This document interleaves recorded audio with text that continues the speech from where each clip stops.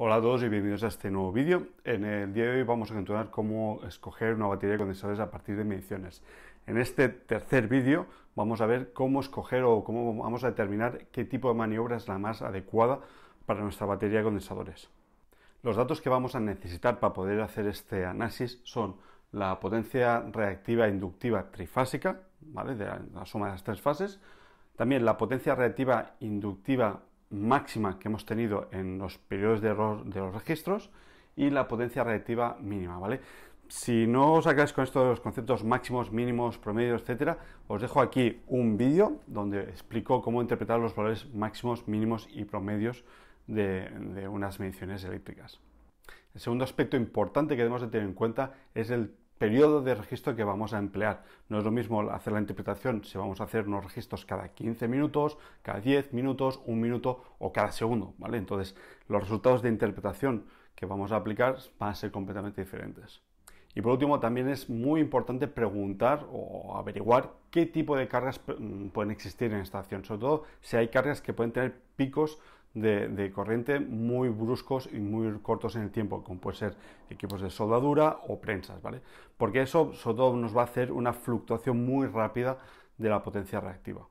Bien, cuando hablamos de tipos de maniobras de las baterías de condensadores, básicamente nos vamos a encontrar de dos tipos, o maniobras con contactores o maniobras eh, estáticas o por ¿vale? Entonces, cada uno tiene sus ventajas y sus contras, ¿vale? Los contactores, normalmente, el coste de material para, sustituir un contactor o, disponer de un contactor es más barato que no unos semiconductores como son los tristores.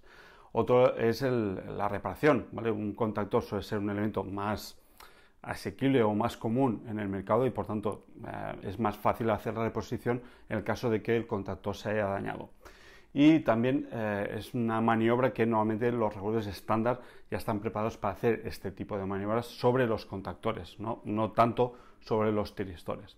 Pero por contra, los contactores, primero es un elemento que cada vez que va cerrando se va produciendo un arco y va teniendo un desgaste mecánico, también en el momento de, conexión no tiene en cuenta el punto en cual está la señal de tensión y produce, puede producir unos transitorios de perturbaciones en tensión, ¿vale? que pueden, si hay material o equipos más sensibles ante estas perturbaciones de, transitorios de conexión de las baterías de condensadores, pueden verse afectados.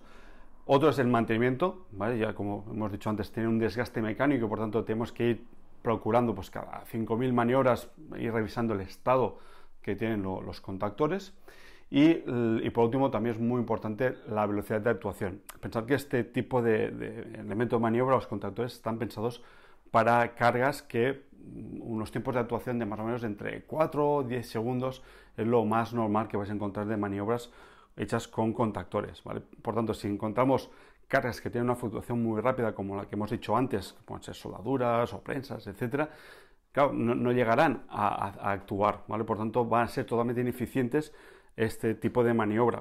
O sea, tener esta maniobra con, contactores y tener una fluctuación muy rápida ni se va a enterar y no van a actuar para nada. Por otro lado, tenemos las maniobras con tiristores, ¿vale? Tienen unas ventajas que es, primero, sobre todo, la velocidad de actuación. Pueden actuar entre 2, 3, 4 ciclos, ¿vale? Ciclos, no segundos, sino ciclos. O sea, estamos hablando en redes de 50 Hz, pues entre los 40, 60, 80 eh, milisegundos aproximadamente. Eh, también el, momento de conexión suele ser controlado, ¿vale? porque con un transistor puedes controlar el momento de conexión y normalmente se hace con paso por cero, con lo cual minimizas o reduces prácticamente completamente el transitorio de conexión, por tanto no se genera ninguna perturbación en tensión al resto de instalación que puedan verse afectados por ese transitorio. También un mantenimiento más sencillo porque no hay un desgaste mecánico, por tanto puedes tener perfectamente 2, 3, 5 millones de maniobras y el tristor está en perfectas condiciones.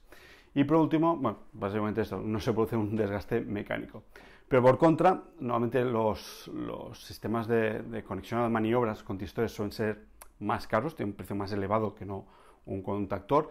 Es más difícil de encontrar normalmente este tipo de, solución en el mercado, no está tan disponible como, como repuesto. Un segundo factor es la disipación de calor, son elementos que normalmente requieren pues, de unos radiadores y poder evacuar eh, de forma más óptima el calor que se produce en, estos semiconductores. Eh, la maniobra es más compleja ya que normalmente van asociados unas placas de controles que pueden hacer este conexionado para evitar esos transitorios que comentabas. No simplemente pues doy la señal y ya está, sino hay una etapa de control detrás y normalmente va asociado también a un regulador para poder hacer este tipo de maniobras para, uh, para. Y por último, un coste de reparación que puede ser más elevado, ¿vale? No es un contacto, lo, lo quitas, lo pones y ya está. En cambio, cuando son tristores, si quieres repararlo, pues tienes que tener ciertos eh, elementos condicionantes al hacer correctamente esa reparación. Bien, para hacer análisis, básicamente lo que vamos a observar, primero os lo enseño aquí gráficamente, es tenemos la, en el eje vertical es la, potencia radiativa inductiva y en el eje horizontal es el tiempo, con lo cual vamos teniendo diferentes registros. Entonces, cuando se producen estos picos transitorios rápidos, normalmente lo que observaríamos es que hay una separación entre las curvas de los registros entre el valor de potencia reactiva trifásico y el valor máximo o mínimo. O sea, cuando veis aquí una separación, significa que entre este periodo de registros se ha podido, producido un, pico máximo de consumo de potencia reactiva, pero que ha, durado muy poco. En cambio, en el mínimo pues, sucede exactamente lo mismo. O sea, si tenemos un pico mínimo dentro de este registro, nos se va a separar del valor de potencia reactiva trifásica de este registro. Esto, repito, en el vídeo de, cómo interpretar máximos, mínimos y promedio, lo podéis ver y, entender un poco mejor. ¿de acuerdo? Sobre todo es procurar ver estas diferencias que entre el valor promedio, máximo y el mínimo. Lo ideal sería que estuviesen muy pegadas. Esto es más frecuente, sobre todo cuando utilizamos unos periodos de registro más, más largos. ¿vale? Si nosotros vamos a medir cada 10-15 minutos, es más frecuente que encontremos este tipo de situación, que haya una punta arranque dentro de estos 15 minutos que nos haga separar estas, estas curvas. En cambio, si utilizamos un periodo de registro más corto, un segundo, cinco segundos aproximadamente, normalmente, a no ser que tengáis las cargas que antes hemos mencionado, eh, estos valores van a estar más juntos. Entonces, para hacer análisis, aquí vamos a hacer igual que hemos hecho como el segundo vídeo para escoger la batería de condensadores, vamos a calcular el MAPE, ¿vale? Que es el, mm, valor promedio del, porcentaje de error, ¿vale? Pero en este caso vamos a hacerlo sobre el valor máximo. O sea, el valor promedio de potencia reactiva trifásica con el máximo y vamos a hacer lo mismo con el valor mínimo, ¿vale? Os pongo aquí otra vez la, fórmula, que simplemente es hacer en valor absoluto la diferencia entre el valor en este caso máximo menos el valor de potencia trifásica dividido entre el valor de potencia máximo, ¿vale? En valor absoluto y hacemos el sumatorio de todos los registros. Y luego lo dividimos con el total número de, registros que se hayan producido. Luego lo veremos un poco más claro con el ejemplo práctico que os enseñaré a continuación, ¿vale? Hacemos lo mismo con el valor máximo y con el valor mínimo. Pero también vamos a hacer otro tipo de análisis que es eh, ver la, media móvil de las pendientes de cada tres registros, o sea, cómo va fluctuando cada tres registros. Y lo vamos a observar con, una técnica que es la media móvil de, eh, media móvil de los registros, ¿de acuerdo? Pues vamos para allá, para, el ejemplo. Bien, continuamos con la parte práctica. Eh, aquí tenemos una serie de registros hechos cada cinco minutos, como podéis ver aquí. Eh, donde tenemos los registros de la potencia reactiva eh, promedio dentro de estos periodos de registro y la potencia reactiva trifásica máxima registrada en estas ventanas de 5 minutos, ¿de acuerdo? Entonces aquí, simplemente para que lo veáis de forma gráfica, estos son cada uno de los registros en el tiempo, o sea, cada 5 minutos, y en el eje vertical tenemos la potencia reactiva uh, inductiva trifásica y la potencia reactiva inductiva trifásica máxima de los periodos. ¿vale? Aquí lo, que os cantaba antes en la parte teórica, sobre todo lo que nos debemos de fijar es cuán, cuán rápido puede fluctuar las cargas. Aquí podemos ver dos situaciones. Una es la diferencia entre el punto máximo y el valor promedio del periodo, donde aquí veríamos, por ejemplo, aquí podemos detectar situaciones que hay una cierta fluctuación porque están separadas la, curva de potencia trifásica respecto a la potencia promedio. En cambio, un sistema que es más estable, veríamos que las líneas están más juntas, como por ejemplo aquí, toda esta zona aquí, que fijaos que las líneas de máximo y promedio están más juntas. ¿de acuerdo? En cambio, situaciones como estas, que aquí hay cierta fluctuación, o situaciones como estas que vemos aquí en la parte final, donde hay una fluctuación mucho más rápida. Esto por un lado. Y la otra es la propia fluctuación entre los diferentes registros. ¿vale? Que aquí vemos que hay poca fluctuación de registro a registro. En cambio, aquí sí que, aquí y en esta parte de aquí también vemos que hay una fluctuación bastante importante entre los diferentes registros, ¿vale? Que es lo que vamos a analizar, ¿de acuerdo? Entonces quitamos la gráfica y vamos a, seguir lo que hemos indicado en la parte teórica. Primero, para luego hacer el análisis del mape, eh, vamos a calcular la potencia máxima que hemos tenido entre todos los máximos. Simplemente ponemos potencia máxima y buscamos el máximo de entre todos los valores máximos registrados. ¿De acuerdo? Aquí tenemos los valores máximos. Eh, por tanto, aquí esto estaría mal. No sería un porcentaje, sería un número.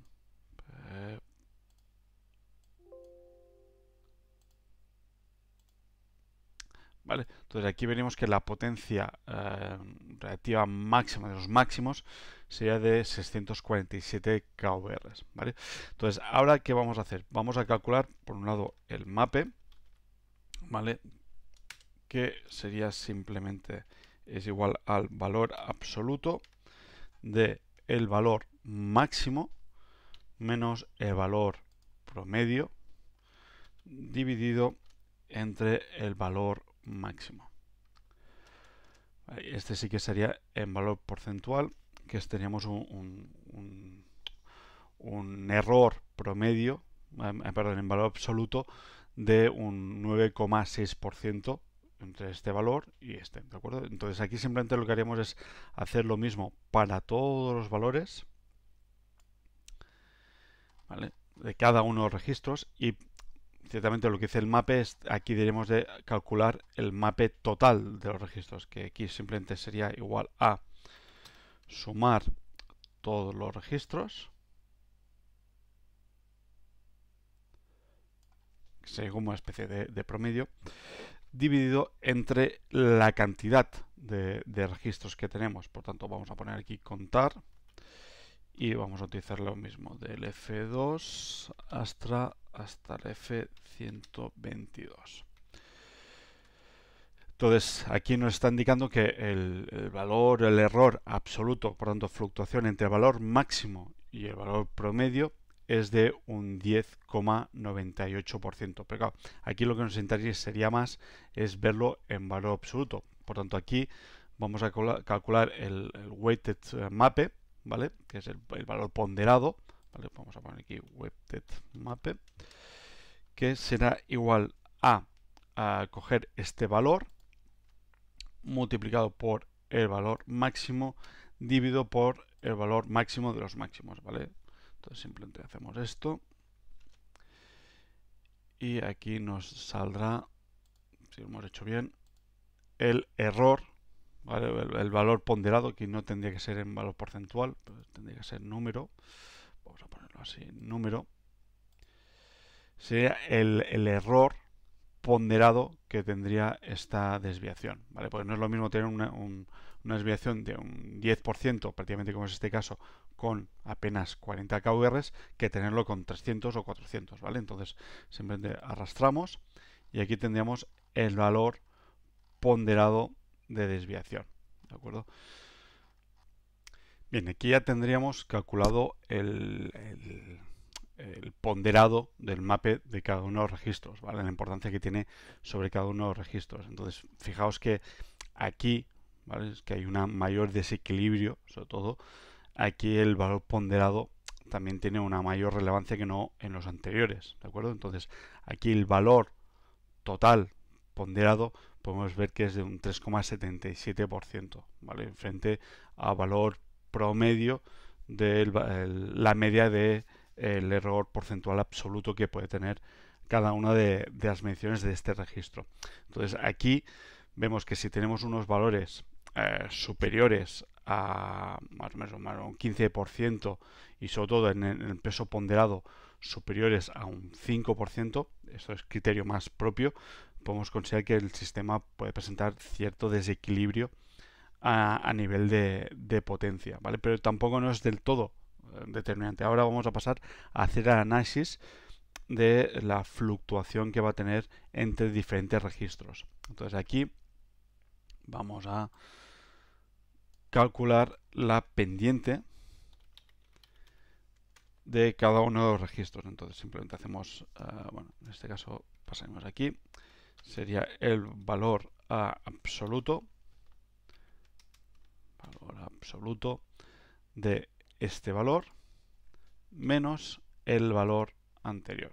Y así tendríamos la pendiente que hay entre cada uno de los registros. Entonces aquí simplemente tiramos para abajo y veremos cómo es la fluctuación real entre cada uno de los registros. Entonces aquí ah, vamos a, buscar la, media móvil, la media móvil de los tres registros, de, de, tres registros, que es simplemente coger en este punto y hacer la suma de estos tres registros y dividirla entre tres. Entonces aquí vamos a quitar unos cuantos decimales. Esta sería la fluctuación que ha tenido entre eh, estos últimos tres registros, ¿vale? las pendientes de estos últimos tres registros. Y así podemos hacer exactamente con todos. ¿vale? Cuanto más fluctuación haya entre estos tres registros, más elevado va a ser este elemento. Entonces, para verlo más claro, vamos a hacer una gráfica.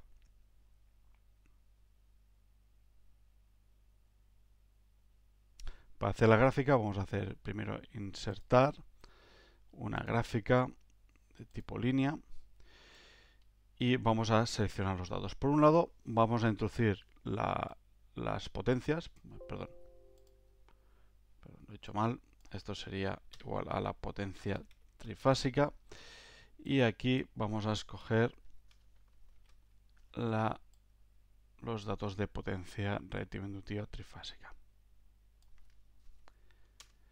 ¿De acuerdo? Entonces vamos a agregar también el de, hemos dicho el de pendiente, pendiente, que en este caso van a ser estos datos.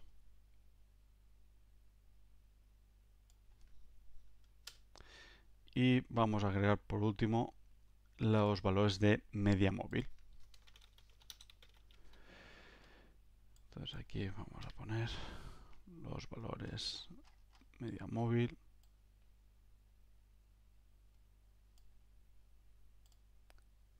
Perfecto. Entonces aquí ya tenemos la gráfica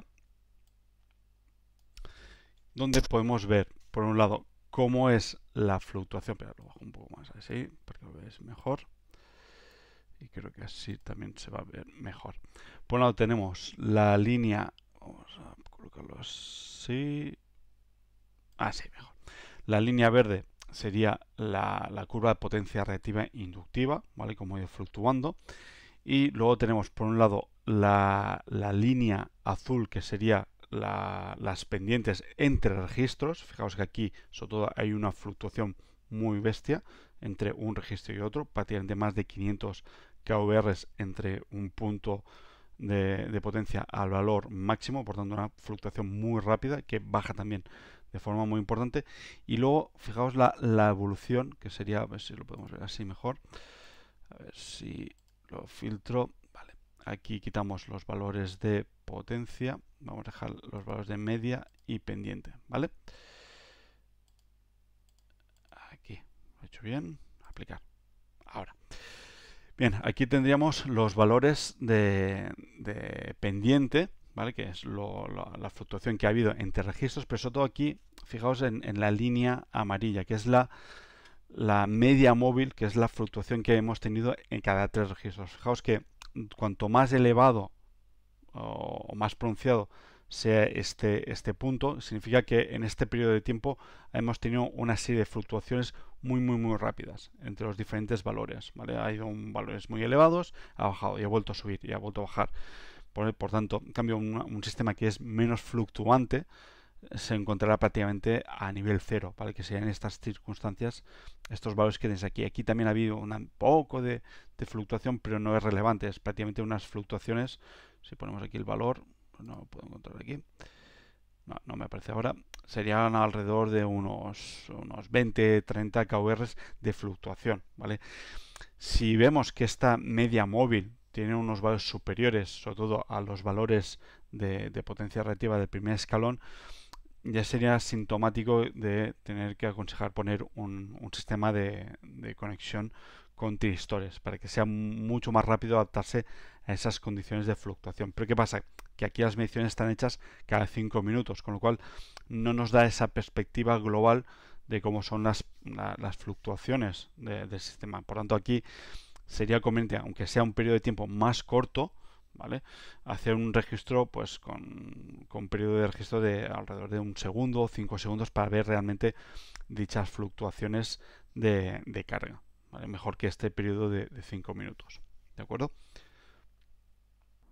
Bien, eso es todo. Espero que os haya quedado más claro cómo escoger el, diferentes tipos de maniobra y cuál es la diferencia entre una maniobra con contactor y con tiristores. Y ya sabéis, si tenéis cualquier duda o comentario, lo podéis dejar en el apartado de comentarios de este vídeo o en el apartado de contactos de blogfornies.es. Hasta luego.